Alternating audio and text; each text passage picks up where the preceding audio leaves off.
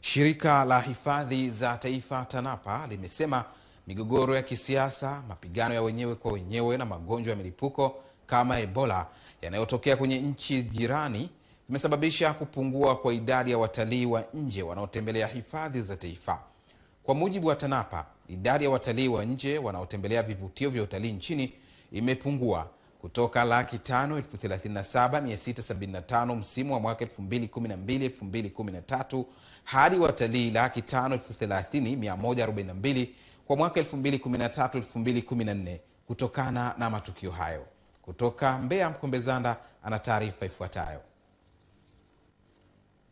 Changamoto hiyo imebainishwa na kaimu meneja masoko wa TANAPA Victor Ketansi katika mahojiano na Star TV jijini Mbeya kuhusu hali ya utalii nchini. Kukitokea vita kidogo au machafuko nchi zetu za jirani, watalii wanasita kuja, kwa sababu watalii wa nje wanaiona Afrika Mashariki kama eneo moja. Kwa kwa jirani yetu kukipata matatizo hawaji, wanaahirisha. Na pia uh, Watanzania wafahamu kwamba bado tunategemea watalii wengi kuingia nchini mwetu kupitia nchi jirani. Afisa utalii mwandamizi wa hifadhi ya taifa ya Ruaha Eva Pwele anabainisha namna matukio hayo kwenye nchi jirani yanavyoshusha idadi ya watalii wa nje kwenye hifadhi hiyo, huku mtembeza watalii Eric Sichinja akibainisha athari hiyo kwa upande wa kampuni yake. Baada ya kuzuka ili gonjwa la Ebola, lakini pia shughuli za kisiasa upande wa Kenya ziweza kuathiri sehemu kubwa.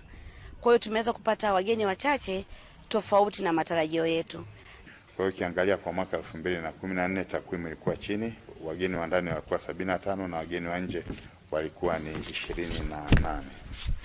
Takwimu za TANAPA zinaonyesha kuwa wakati idadi ya watalii wa nje ikipungua, watalii wa ndani wameongezeka kutoka laki tatu na sitini na nne elfu mia mbili kumi na saba mwaka elfu mbili na kumi na mbili elfu mbili na kumi na tatu hadi kufikia watalii laki nne na ishirini na saba elfu mia mbili na wanane kwa mwaka elfu mbili na kumi na tatu elfu mbili na kumi na nne.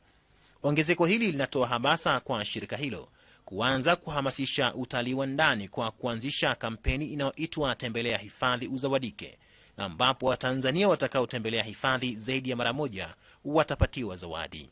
Kwamba tutakuwa na CD lakini tutakuwa na tai, tutakuwa na t-shirt ambazo zitatolewa katika malango yetu, lakini kama alivyosema mwanzo, kutakuwa na zawadi kubwa ya kutembelea hifadhi ya Serengeti na hifadhi ya Gombe kwa maana ya, ya kulala kwenye hoteli ya nyota tano. Katika kampeni hiyo TANAPA inalenga kuwashawishi Watanzania laki tano kutembelea hifadhi mbalimbali nchini ili kuhamasisha utalii wa ndani kama njia ya kuongeza pato la taifa. Mkombe Zanda, Star TV, Mbeya.